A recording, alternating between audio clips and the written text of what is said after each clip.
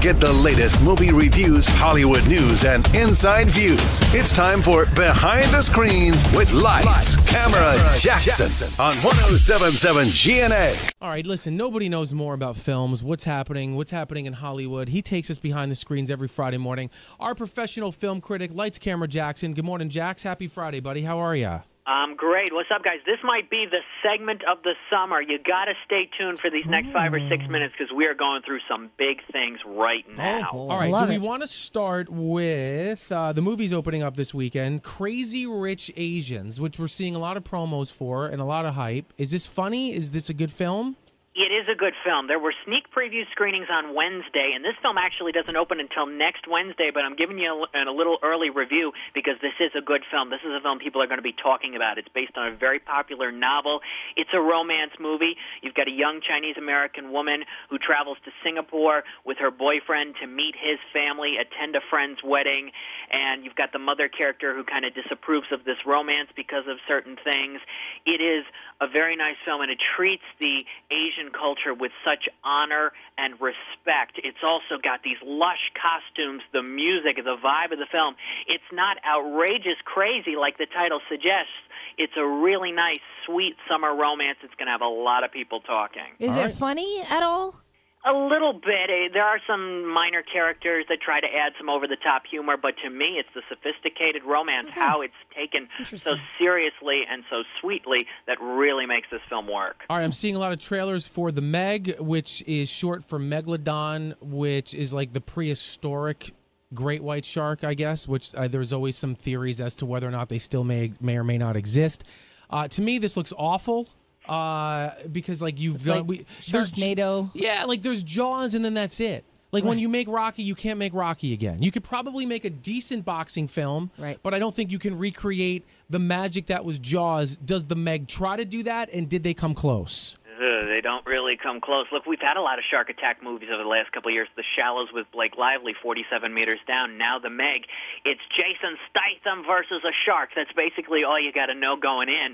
And it tries to be energetic, but it's really it's not scary or dramatic, and it's not campy like the Sharknado movies. It's consistently flat, basically for an hour and 50 minutes, and it gets off to a really slow start. It takes like a half hour just to get going.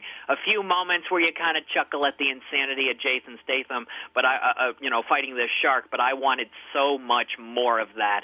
I don't recommend you see the Meg this weekend. All right, let's talk about some of the changes to the Oscars too. You think this stuff could be monumental? I really do. And here's the thing this most popular film ca- category edition, that's the one people are really going after. You know, uh, all these blockbuster movies getting nominated as a sympathy vote, all of that. Here's, I think, the one way the Academy can spin this and save themselves, because so far it has been a PR nightmare since this announcement.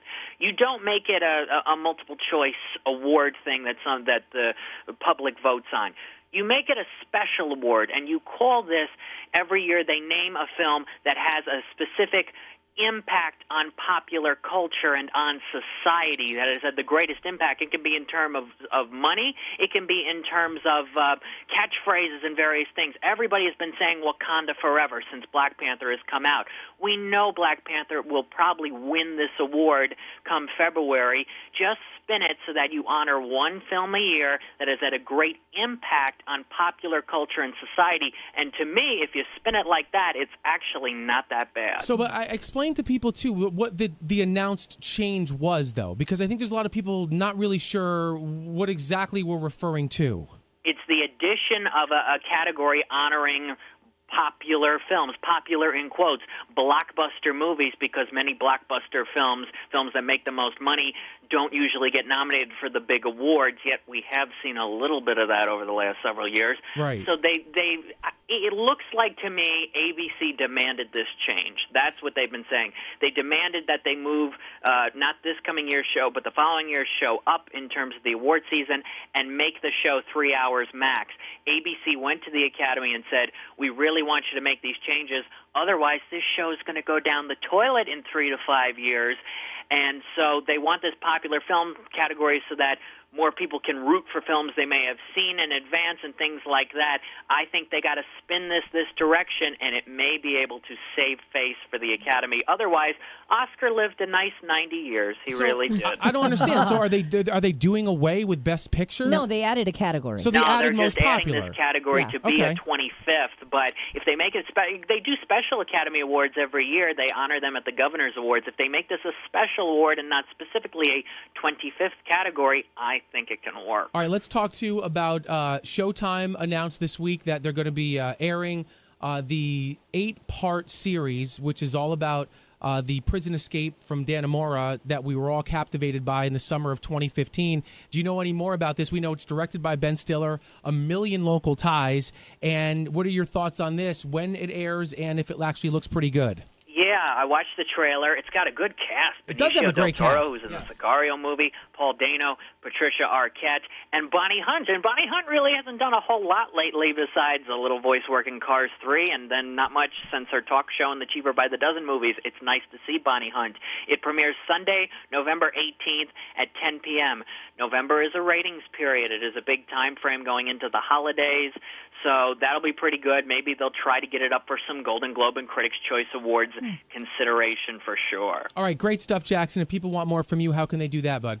My full Crazy Rich Asians review is up right now, lights-camera-jackson.com. I'm back on Twitter at LCJ Reviews, and also follow me on Instagram at LightsCamJackson. Have a great weekend, buddy. We'll Thanks, talk to you next Friday. Thank you. You, you too. Bye-bye.